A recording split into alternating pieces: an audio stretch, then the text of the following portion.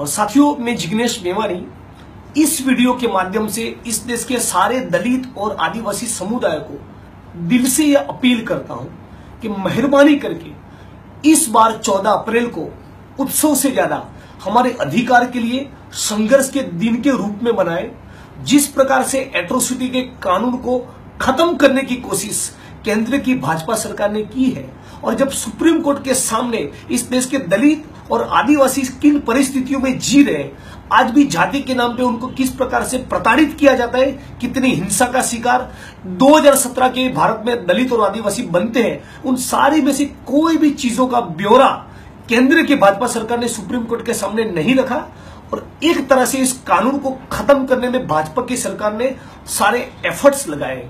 ये समझते हुए मेरी आप सभी को अपील है कि इस बार 14 अप्रैल के दिन भाजपा के किसी भी नेता को बाबा साहेब के स्टेच्यू को हाथ लगाने मत दो।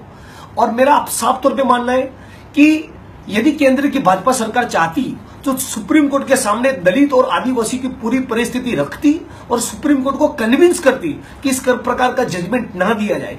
हज़ारों की तादाद में दलित लोग जब सड़कों पर उतरे चक्का जाम किया भाजपा सरकार का नाक दबाया और 11 लोगों ने बलिदान दिए, तब जाकर रिव्यू पिटीशन फ़ाइल किया है। तो रिव्यू पिटीशन एक तरफ़ से कैसे कि पहले आप चाटा मारो और फिर मलम लगाओ। ठीक है तो ये भाजपा की पॉलिसी है। मोदी जी का पूरा पॉलिटिक्स देखें तो पता चलता है कि जुबा पे, होठों पे बाबा साहब अंबेडकर की बात करते हैं। लेकिन दिल के अंदर उनके मनु छुपा बैठा है। एक लफ्ज नहीं बोले, ग्यारह लोग मारे गए। ऊना के मामले में भी दलितों का चमड़ा उधेड़ा, उनके विक्टिम्स को न्याय नहीं मिला। रोहित वेमुला की संस्थानिक हत्या हुई। सहारनपुर के मामले में भी वो चुप रहे और भीम आर्मी के हमारे साथी चंद्रशेखर रावण को बिना फिजूल के जेल के अंदर एक साल के डाल के रखा है। तो ये जो पूरा टॉर्चर है, ये लोग संविधान को बदलना चाहते हैं। उनका नेता हेगड़े साफ़ तौर पे कह चुका है, हम यहाँ इस देश के संविधान को बदलने के लिए।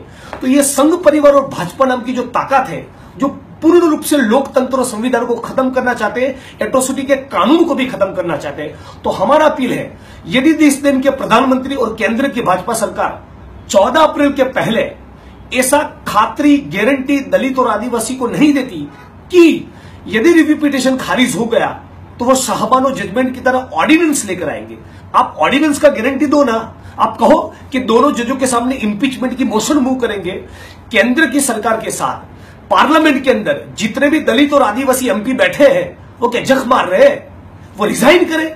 मोदी जी पे प्रेशर बनाए कि भी क्यों आप ऑर्डिनेंस लेकर नहीं आ रहे हो? क्यों दो दो दोनों जजों के सामने सारे दलित और आदिवासी एमपी मिलकर इंपीचमेंट का मोशन क्यों ना मूव करें? यदि आपको शर्मल हो, आपके अंदर कुछ भी हया बाकी हो तो बाहर निकलो और हमारे साथ मैदान में आओ। हम भी विधायक हैं, लेकिन केवल असेंबली में बात नहीं करते, सड़कों पर जनता के बीच में आना पड़ेगा। आप एमपी बन गए तो इस मामले में मौन रहेंगे, खामोश रहेंगे तो दलित और आदिवासी समाज सहन करने वाला नहीं है। आप अपनी जवान खोलिए, मोदी जी पे प्रेशर बनाइए कि दोनों जजों को निकाला जाए। यदि आप ऐसा नहीं करते और 14 अप्रैल के पहले ऐसा कोई अनाउंसमेंट नहीं होता तो भाजपा के किसी भी नेता को इस देश का दलित और आदिवासी बाबा साहब के स्टेच्यू को हाथ लगाने मत दे। और उस वक्त हम नहीं चाहते कि एक परसेंट की भी पब्लिक प्रॉपर्टी का नुकसान हो। हिंसा तो किसी किस्म पे ना हो। हिंसा का स्पेशलाइजेशन तो इन दंगाइयों का। हमारा वो काम नहीं, हम कानून और संविधान के दायरे में रह के प्रोटेस्ट करेंगे।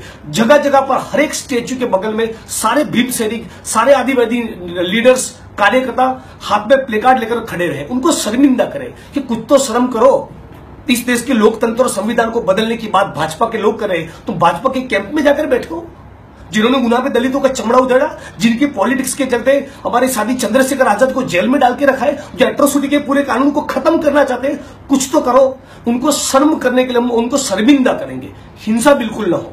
लेकिन उनका जमकर विरोध हो, उनको कहा जाए, तुम्हारी कोई औकात ही नहीं कि बाबा साहब के स्टैच्यू को हाथ लगाओ। यही बात मोदी जी को भी कहना चाहते हैं कि तुम्हारे होठों पे, बाबा साहब दिल में मनु है, कृपया इस बार चौदह अप्रैल में बाबा साहब के स्टैच्यू को हाथ मत लगाना, किसी को भी मत लगाने दो। लेकिन दोबारा बार बार कह रहा हूँ, हमारी ओर से कोई हिंसा न हो।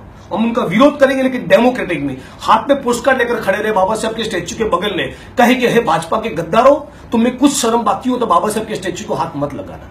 यही मेरा अपील है। चौदह अप्रैल उत्सव का दिन है। लेकिन इस वक्त देश में जो हालात है और जिस प्रकार से हमारा उत्पीड़न हो रहा है, जिस प्रकार से दलित आदिवासी को दबाया जा रहा है, जिस प्रकार से इस कानून को खत्म कर लिया जा रहा है, मैं इस बार अपील करता हूँ उसको उत्सव के तौर पे नहीं, हमारे संघर्ष और अस्तित्व के तौर पे उसको सेलिब्रेट किया जाए। आज हमारा अस्तित्व खतरे में है, हम क्या सेलिब्रेट करेंगे? इस देश के दलितों की क्या हालत है? इस देश के आदिवासियों की क्या हालत है? तो मेरा मानना है, हम इस बार चौदह अप्रैल को सेलिब्रेट करने के बजाय उसको संघर्ष के मैदान में सेलिब्रेट करें। यही मेरा अपील है। जय भीम।